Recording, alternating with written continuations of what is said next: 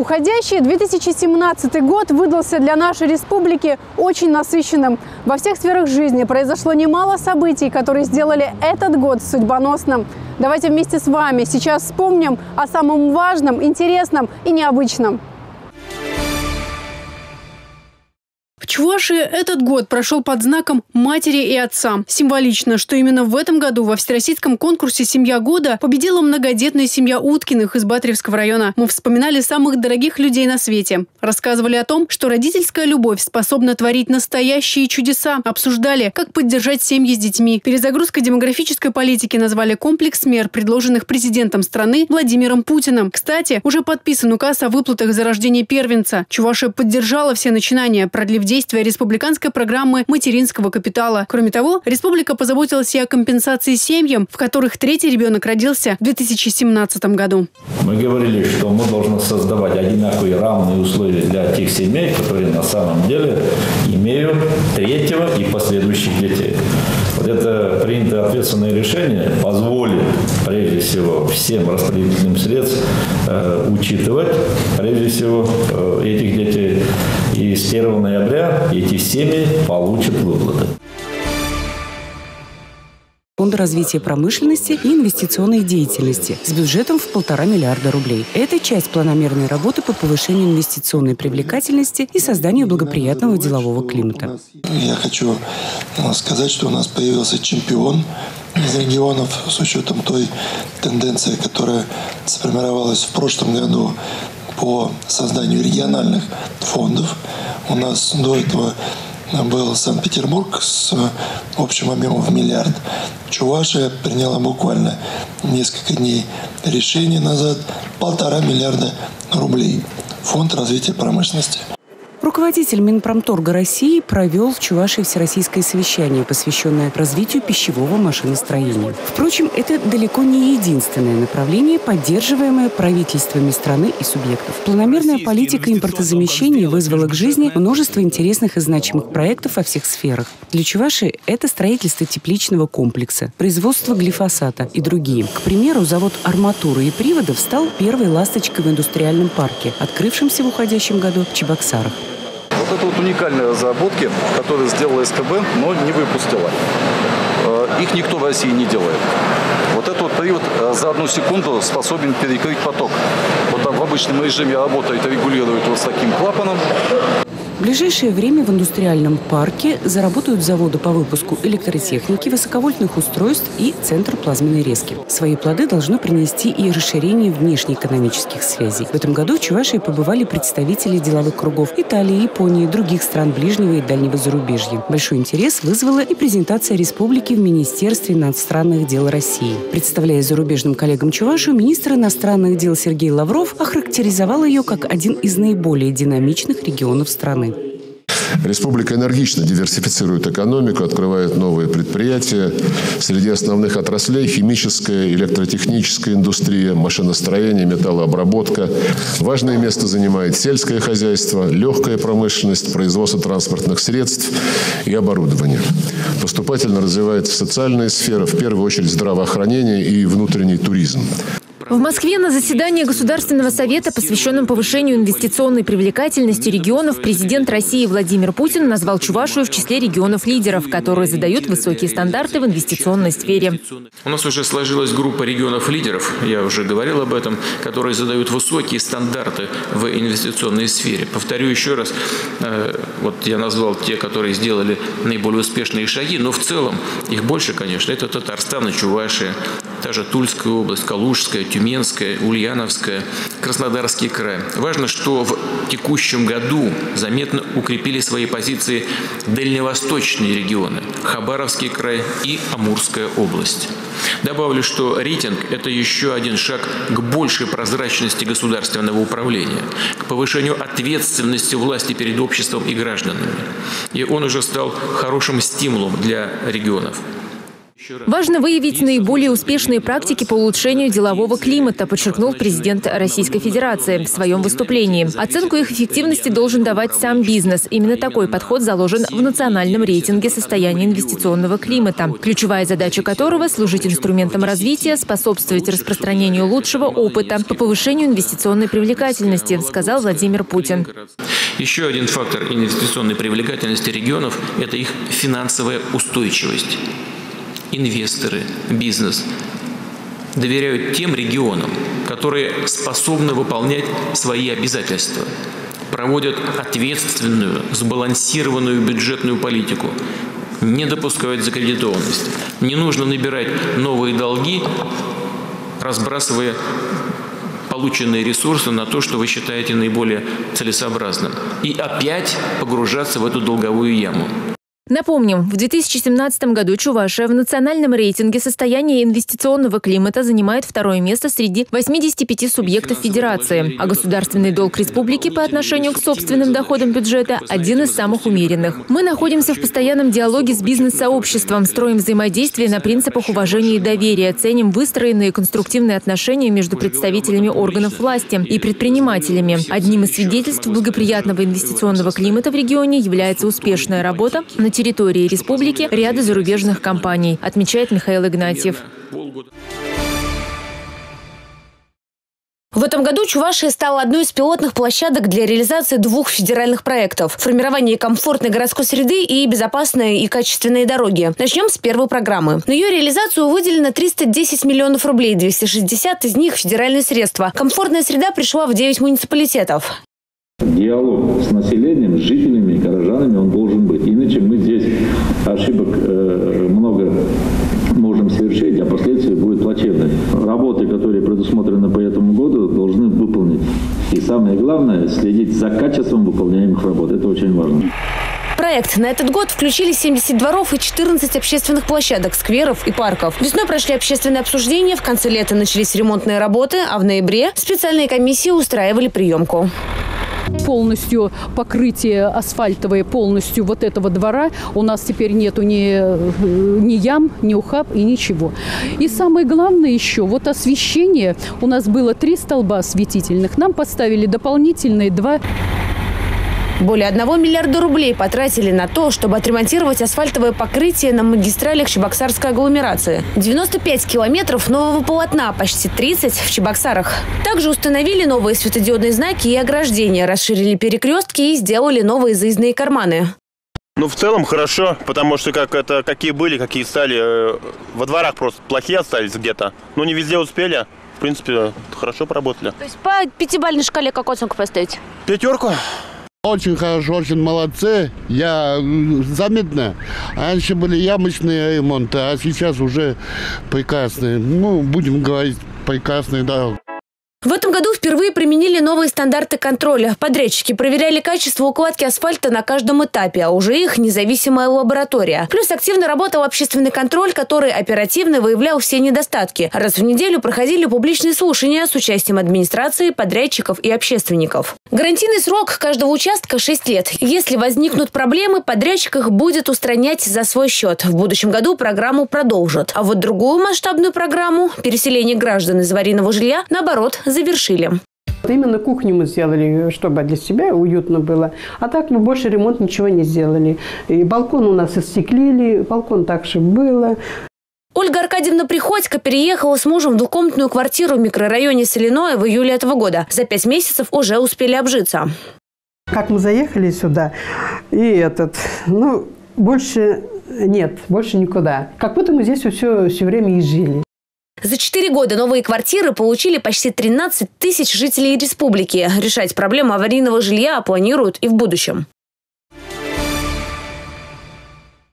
Кто удивил в этом году, так это аграрии республики. Лето выдалось не самым удачным. Из-за переувлажнения почвы пришлось даже объявлять режим чрезвычайной ситуации. Урожай оказался под угрозой. Селяне приняли вызов. Уборочная кампания прошла организованно, хозяйства помогали друг другу, делились необходимой техникой. В результате собран рекордный за последние 20 лет урожай – более 650 тысяч тонн зерна. Это не единственный показатель, которым мы по праву гордимся. По производству молока на 100 гектаров республика занимает первое место в Приволжском округе, по картофелю второе, по мясу третье. В агропроме Чувашии реализуются 60 инвестиционных проектов, и среди них рыбоводческое хозяйство, предприятия по переработке молока, мясных изделий. В уходящем году в республике введены в эксплуатацию несколько животноводческих комплексов в Бурнарском, Красночитайском районе. В канун Нового года новый коровник на 400 голов открылся и в селе Туруново Батри Дмитриевского района. Агрофирме «Исток» это позволит увеличить производство молока еще на 2500 тонн. На строительство комплекса направили более 60 миллионов рублей. Здесь будут работать всего 12 человек. Многие процессы автоматизированы. Чистота, порядок, доильный зал, э, доярки молоко ведрами не таскают, все автоматизировано. Все вы видели, какой микроклимат стоит э, внутри помещения. Все условия созданы. В 2017 году в Чувашии открылись еще четыре новых детских сада. В микрорайоне Садовый достроили второй корпус к детскому саду 203 непоседы. 340 малышей получили возможность посещать дошкольные учреждения.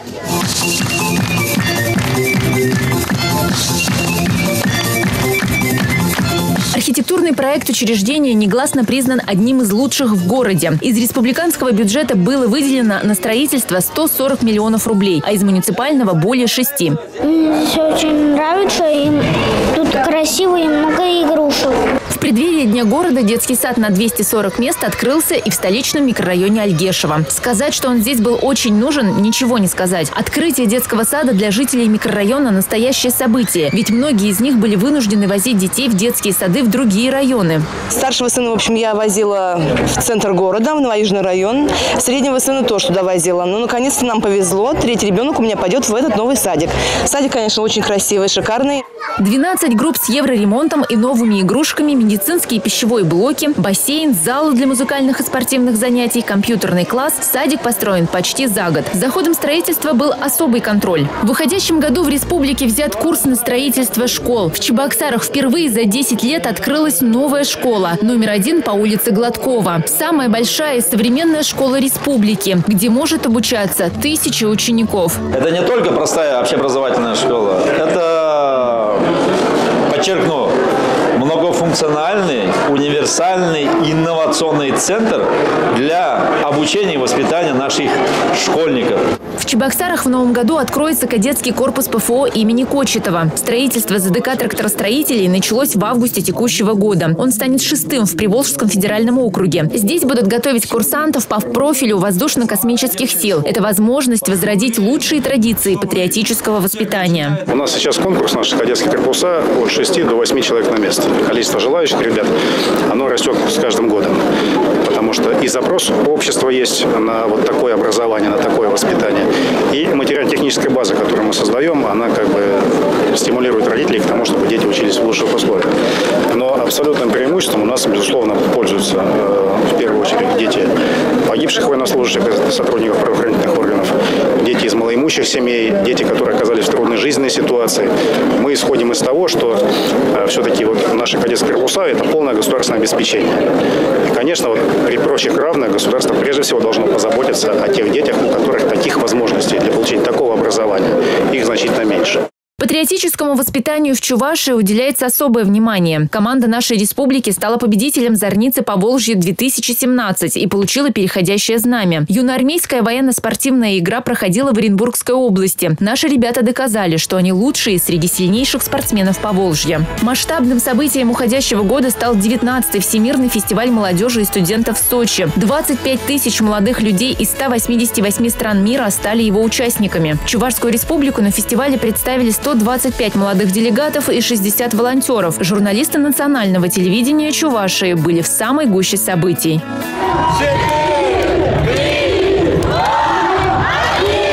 Находимся на автодроме Сочи. Здесь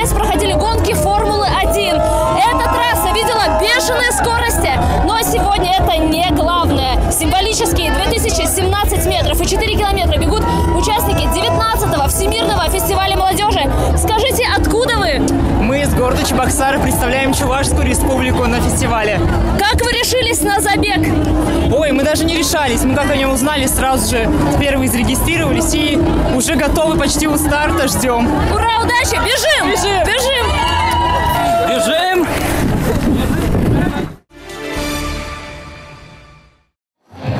152 в регионе. Программа строительства фельдшерско-акушерских пунктов в республике продолжается. Предновогоднюю неделю новые ФАПы открывались каждый день в разных муниципалитетах. Качественную медицинскую помощь теперь будут оказывать и жителям деревни Большие Карачуры. Пока велось строительство ФАПа, медицинскую помощь жителям оказывали в больнице села Ишлея. Приходилось преодолевать порядка 10 километров по федеральной трассе. В новом пункте за день смогут принимать более 40 человек. В следующем году в республике планируют построить еще 25 новых ФАПов. Медицинская помощь должна оказываться в шаговой доступности. Эту задачу поставил президент России. Мы оснастили его хорошим современным оборудованием. Здесь все условия будут для обслуживания. И задача наша вот, продлить ваше долголетие, дорогие ветераны. Вложили почти 7 миллионов рублей. С одной стороны, это небольшие средства, но с другой стороны, это, можно сказать, самый лучший объект здравоохранения, который мы строим в виде ФАПа, фельдшерско-акушерский пункт, в населенных пунктах.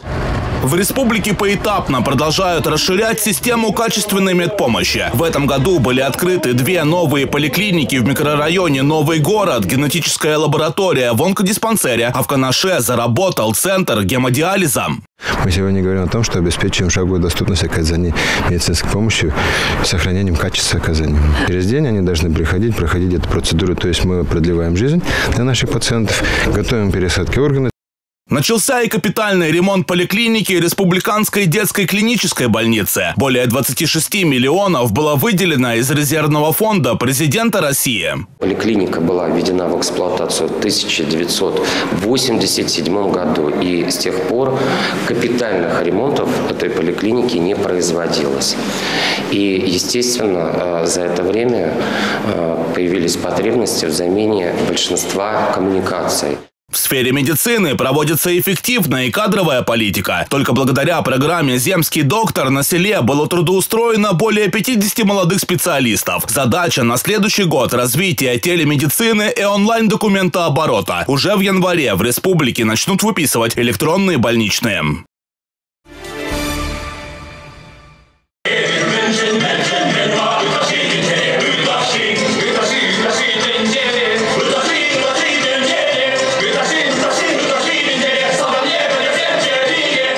В выходящем году чувашские артисты выступили на сцене театра Содружества актеров Таганки уже в четвертый раз. Не каждый день можно посмотреть постановку на чувашском языке. Билеты разбирают быстро. Вся Москва только об этом и говорит.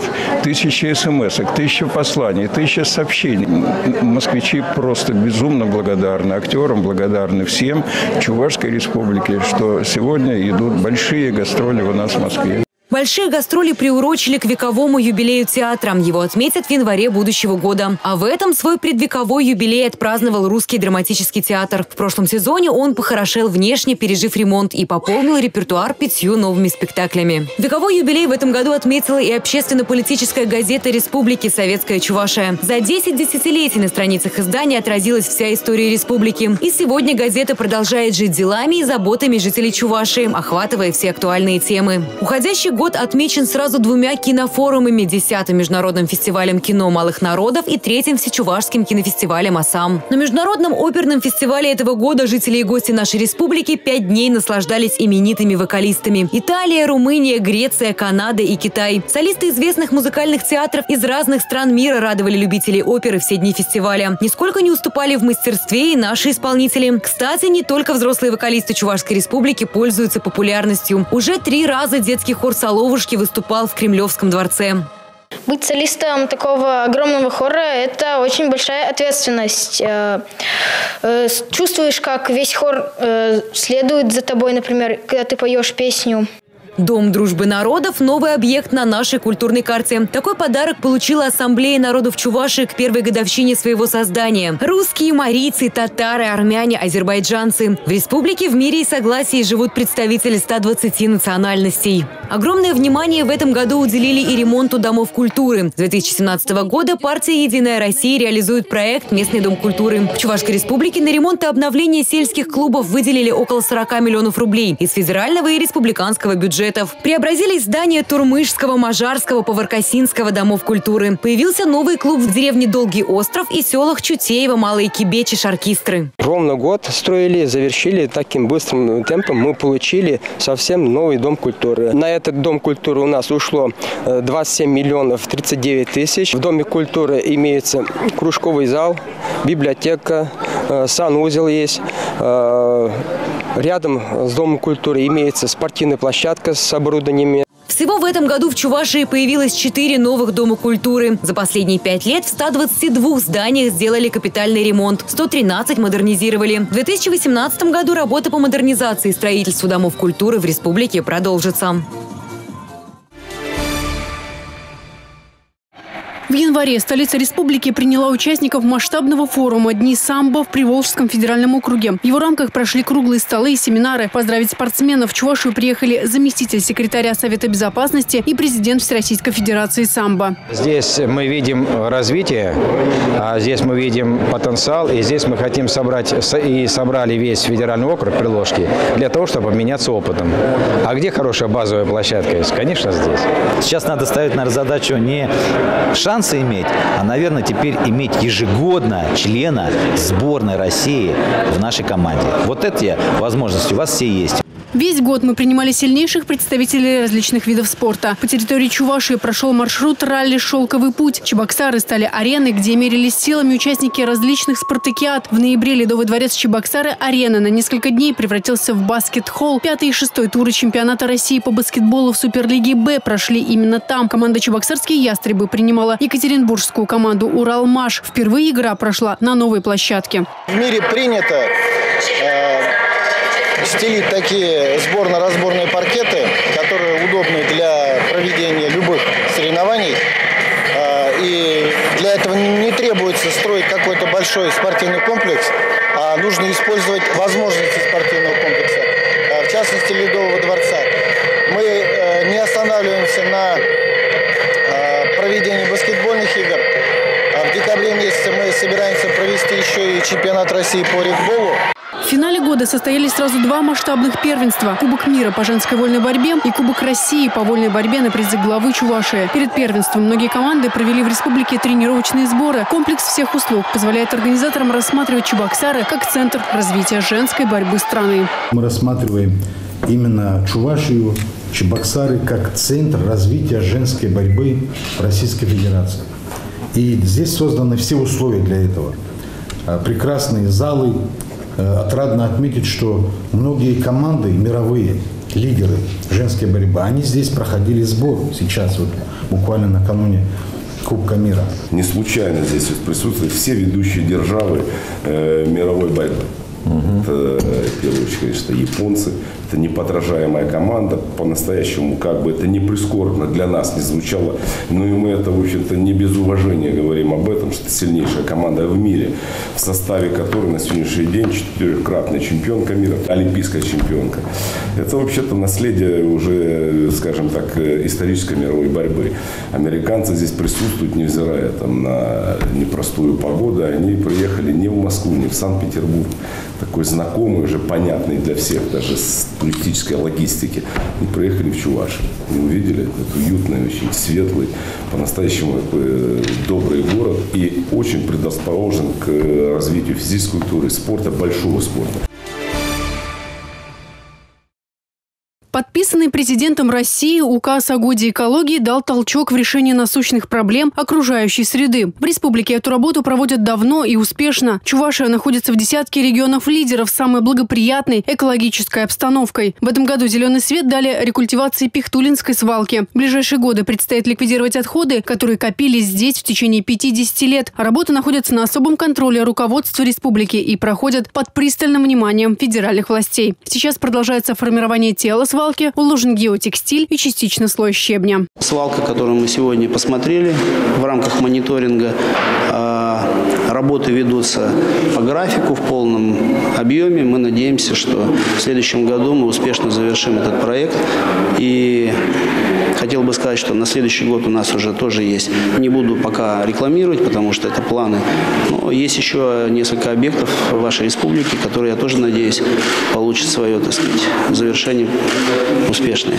В этом году в Чувашии начала развиваться система особо охраняемых территорий, а в Заволжье был создан природный заказник. На левом берегу Волги продолжают восстанавливать горельники. На их территории уже посажены десятки тысяч деревьев. В республике увеличивается и количество участников экологических акций. Среди них немало молодежи. Многие жители сами начинают сажать деревья. Так Валерий Петров, энтузиаст своего дела, решил подарить столице Чувашии кедровую рощу во всех уголках Чебоксар. Высаживать саженцы сибирского кедра. Экологические проекты стали важной составляющей и на крупных предприятиях. Солидные инвестиции на защиту природы обязались направить и в Новочебоксарском химпроме. План приоритетный. К его реализации подключатся и власти республики, и федеральные ведомства. Соглашение взаимодействия подписали в Москве на полях Международного форума «Экотех» под занавес Года экологии.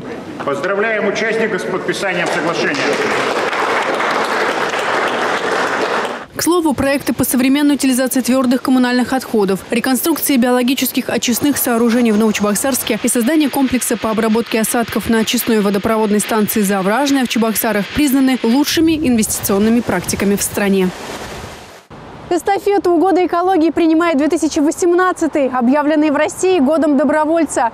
Каким он будет? Что ждет нас в ближайшие 365 дней? Как говорится, поживем увидим но каждый из нас. И все мы вместе верим, что все будет хорошо. Во всяком случае, наступающий год желтой собаки, символ этого года, обещает нам удачу, успех и любовь. А подробности у Юлии Важениной. Они живут с нами бок о бок уже более 30 тысяч лет. Мы заботимся о них, они любят и радуют нас. А еще они символ наступающего года, как вы догадались.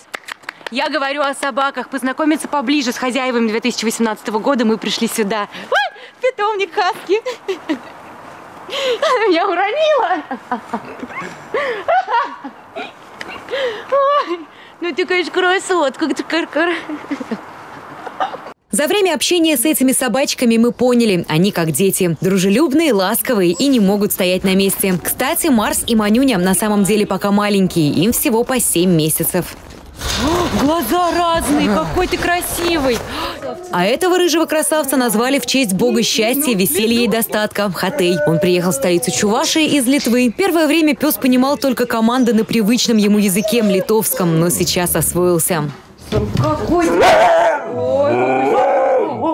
в питомнике живет и настоящий актер Катерпиллер. Сокращенно его называют Кат, а ласково котенок. Он знает и выполняет много различных команд. Вот и такой. Давай, давай. Ай, молодец. Зайчик. Поклон. Поклон. Лежать. Лежать. Умри. Умри. Умри. Молодец. Есть у Каты и любимая команда. Теперь давай любимую команду голос.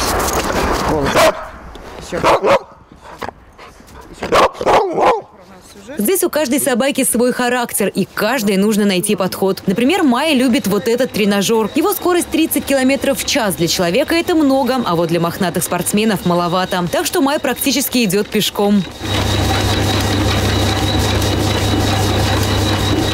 А тренируется Майя для того, чтобы катать сани. Он, как и любая ездовая собака, просто обожает бегать.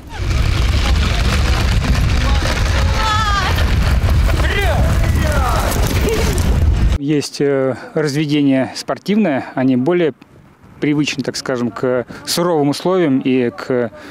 Э, значит, но э, у нас собаки шоу, и с ними чуть тяжелее, но они эстетика и внешний вид у них, конечно, гораздо красивее, интереснее. Безумно любим собак, наша семья. Я не представляю, что бы я без собак делал, чем бы занимался сейчас. Это наша жизнь. Собака – осторожное, умное и консервативное животное. Она не любит яркости и кричащих цветов, поэтому в новом году не должно быть вычурности и петушиной крикливости. Значит, придется обойтись без страз, блесток и декольте до пояса. Все должно быть предельно лаконично и удобно. Лучше всего подойдут наряды естественных цветов. Еще лучше остановить выбор на желтом или коричневом. Кстати, в оформлении помещений также приветствуются желтые, коричневые, зеленые или золотые тона. Но помните, собаки не водят дружбу с кошками, поэтому никаких леопардовых расцветок и меховых жилеток. А, будьте практичны в этот год и точно тогда к вам придет благосостояние, наладятся все взаимоотношения. Собака, конечно, любит косточки, они могут быть из чего угодно, то есть мясные блюда показаны. Но помимо всего прочего, пусть это еда включает в себя и молоко. Некоторые собаки пьют молоко. Спиртного поменьше, потому что собаки точно от этого хорошо не бывает. Как известно, собака верный и преданный друг человека. Поэтому простит многие оплошности. И, возможно, именно она подарит людям спокойный год. А отмечать праздник все же стоит в компании только самых близких. Конечно, можно верить или не верить в приметы, но все-таки лучше задобрить символ Нового года. Лишним это точно не будет. Вкусно? Юлия Важенина, Андрей Шоклев, Александр Петров. Республика.